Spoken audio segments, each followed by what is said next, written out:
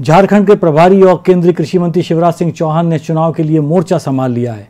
शिवराज ने कहा कि इस साल झारखंड को कुशासन से मुक्त कराना है। झारखंड में इस साल विधानसभा चुनाव होना है। केंद्रीय कृषि मंत्री शिवराज सिंह चौहान को झारखंड का प्रभारी और असम के मुख्यमंत्री हेमंता विश्वा शर्मा को सह प्रभारी बनाया गया है। दोनों नेता चुनावी रणनीति बनाने के लिए राज्य के दौरे पर हैं। रविवार को इन दोनों नेताओं की अध्यक्षता में झारखंड बीजेपी के नेताओं की बड़ी बैठक हुई। केंद्रीय मंत्री शिवराज सिंह चौहान ने कहा कि अब झारखंड को कुशासन से मुक्त कराना है। भारतीय जनता पार्टी के सभी कार्यकर्ताओं का बूथ स्तर पर अभिनंदन का कार्यक्रम किया जाएगा। कार्यकर्ताओं में हमने आत्मविश्वास जगाया है। हम पूरी तरह से आश्वस्त हैं कि झारखंड में इस बार फिर भाजपा अपनी सरकार बनाएगी।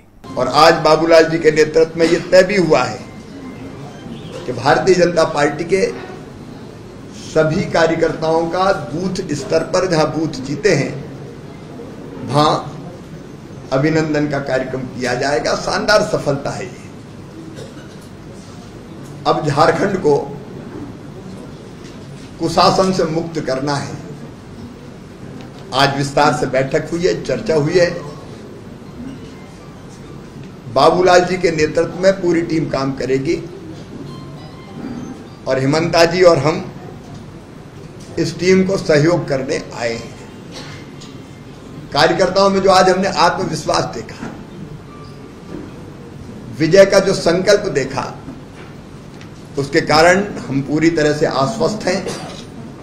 कि झारखंड में इस बार फिर भारतीय जनता पार्टी अपनी सरकार बनाएगी। केंद्रीय मंत्री शिवराज सिंह चौहान ने कहा कि लोकसभा के चुनाव में हमारी टीम ने, प्रदेश के नेतृत्व ने, हमारे बूथ के कार्यकर्ताओं ने घनघोर परिश्रम किया और शानदार सफलता यहाँ हासिल की। हम आठ सीटें और अपने सहयोगियों के साथ नौवीं सीट भी जीते हैं और लगभग बावन विधानसभा क्षेत्रों में भारतीय जनता पार्टी आगे रही है।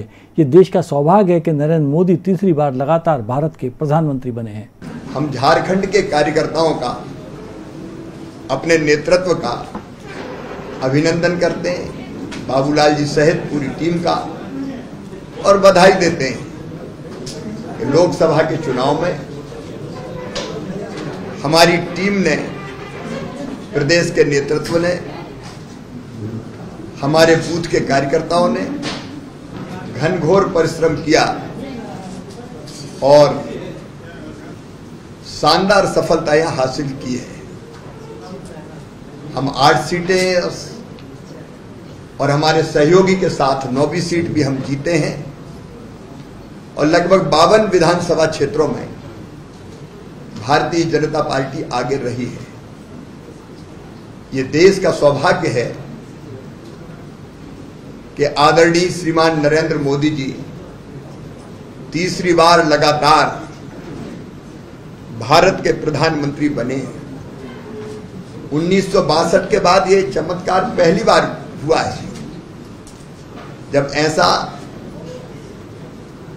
शानदार बहुमत प्रधानमंत्री बनाने के लिए हमारी पार्टी को, हमारे गठबंधन को, एनडीए को मिला हो